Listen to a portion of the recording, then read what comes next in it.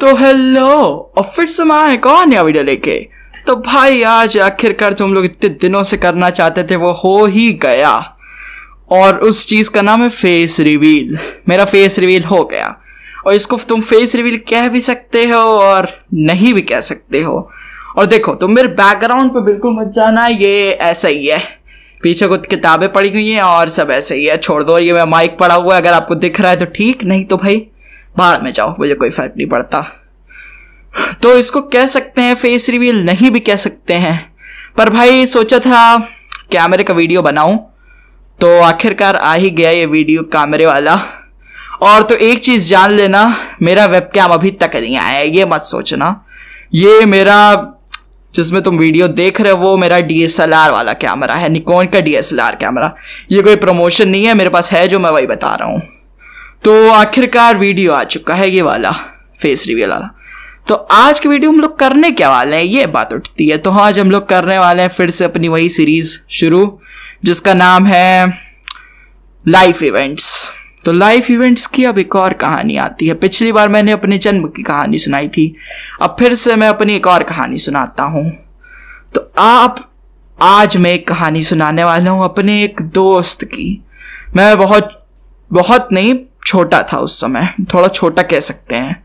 मैं उस समय थोड़ा छोटा था और फिर हम लोग पहले बहुत ट्यूशन पढ़ने जाते थे। फोर्थ या फोर्थ क्लास की बात है वैसे तो। फोर्थ क्लास बात है, हम लोग ट्यूशन पढ़ने जाते थे। एक मैम के पास मैं, मेरे दोस्त, तीन चार ठो। तो एक बार एक घटना हुई। उसी ट्यूशन में जाते आते जाते आते नहीं, हम लोग पहुँच चुके थे ट्यूशन में। तो भाई वो घटना तो मैं अब तक नहीं भूल पाया हूँ। वो घटना यार मेरे लिए चा कम, मेरे दोस्त के लिए वो ज़्यादा थी।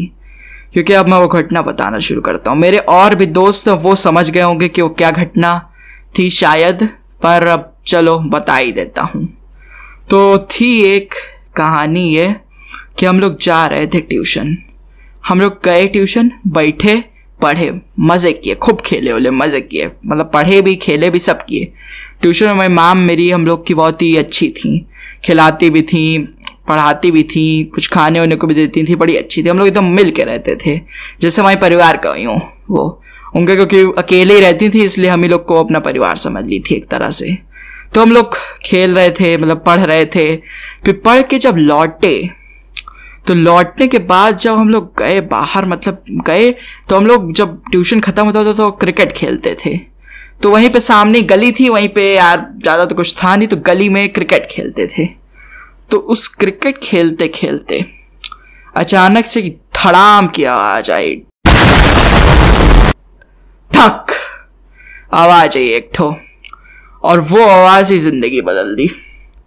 उस आवाज़ से ही बहुत कुछ हुआ। वो आवाज़ आई, फिर थोड़ी देर हम लोग कुछ नहीं सोचे, खेलते रहे।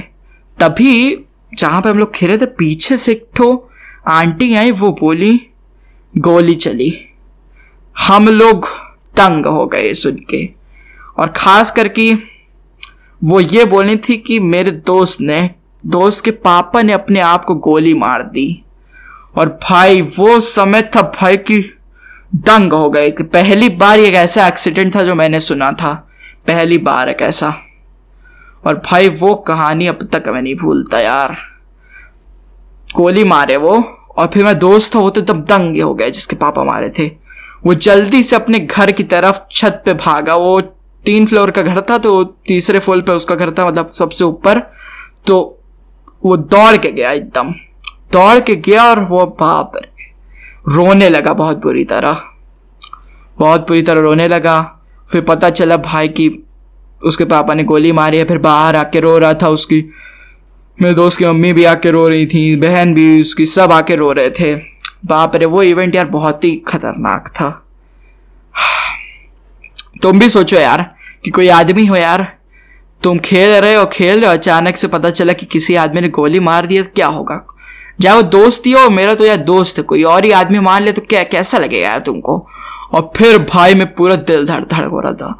और जो हम लोग क्रिकेट खेलते थे, बैट भी था उसी का, जिसके पापा ने गोली मारी थी मेरे दोस्त का। और भाई हम लोग बोले कि जाके तुम बैट दे दो तो हम लोग भी डर रहे थे कि यार क्या कौन जाके बैठ दे तो हम लोग नीचे ही रख दिए बस। नीचे रख के तुरंत चले गए। और मैं लौटते अपने घर में बताया कि यार ये हुआ है, ये हुआ है। और तब से भाई हम लोग की उतनी दोस्ती भी चली गई। क्योंकि पहले तो वो हमारे घर के पास रहता था, अब वो दूर फिर चला गया। बहुत सारे कांड हुए, वो फिर अपने गाँव भी गया मेरे दोस्त, फिर उसका गाँव में उसका हाथ भी टूट गया। बहुत कुछ हुआ यार, हद से ज़्यादा। फिर वो उसका एग्ज़ाम भी उस समय चल रहा था, हम लोग का। तो एग्ज़ाम में भी एक भी एग्ज़ाम नहीं देने आ पाया यार। एक भी एग्ज़ाम नहीं। और फिर यार बहुत बुरी तरह कांड हुआ यार। बहुत बुरा। हद से ज़्यादा। अब तक मैं यार वो इंसिडेंट भुला नहीं पाता। उसी कारण तब से पहले तो हम लोग के घर के पास रहता था, फिर वो दूर चला गया। बहुत दूर बहुत दूर नहीं, पर दूर शहर में हमारे ही था। पर पहले हम लोग का घर एकदम पास था, और फिर थोड़ा दूर घर हो गया उसका। और फिर मैं बहुत दिनों बाद उसके घर मिलने गया, फिर पता चला क्या क्या हुआ उसका गाँव में, उसका हाथ टूट गया, इतना सब। फिर वो, फिर बाद में बहुत साल हो गए, बहुत साल फिर थोड़ा बहुत नॉर्मल हुआ सब कुछ। तब वो एकदम भूल गया सब कुछ। अब थोड़ा इतने कम एज में ही तो मरे थे, उसके पापा डेथ हुई थी तो। अब बड़े में होता तब तो थोड़ा बहुत होता है, पर इतने छोटे में तो उतना फ़र्क पड़ता नहीं है। पर यार बहुत अजीब था वो इंसिडेंट अब तक मैं भुला नहीं पाता हूँ यार। ये बहुत ही अजीब और गरीब चीज़ है। पता नहीं, अब तक वो यार वो नहीं हो पाए कि वो उसके पापा ने गोली क्यों मारी यार? अब तक नहीं प्रूफ हो पाया। और फिर कल रात के उस उस रात के बाद अगले दिन उसके पेपर में भी छपा था इस इंसिडेंट के बारे में। कई पुलिस भी उसी जाए थे जब हम लोग क्या कहते हैं, पापा उसकी गोली मारे तो हम लोग जब वापस में अपने घर गया, सबको बताया अपने घर में। तो फिर हम लोग रात में गए भी वहाँ पे कि देखने क्या हुआ है। तो सब पुलिस वुलिस आई थी, सब लोग जुटे हुए थे, देख रहे थे, बात कर रहे थे। बस आज के लिए बस इतना ही था। ये कहानी आपको अगर अच्छी लगी तो भाई लाइक ठोको यार। लाइक ठोको और भाई मेरा चेहरा तो तुम देख सकते नहीं हो, पर अगर पसंद आया यार तुमको, अगर मेरा चेहरा तो यार लाइक मारो और मेरे चैनल सब्सक्राइब करो यार, मैं बहुत कुछ काम करता हूँ मल्टीपल पास आदमी है यार, बहुत सारे काम धंधे मेरे पास। गेमिंग करता हूँ लाइव स्ट्रीम करता हूँ, मरता हूँ, सब कुछ करता हूँ यार।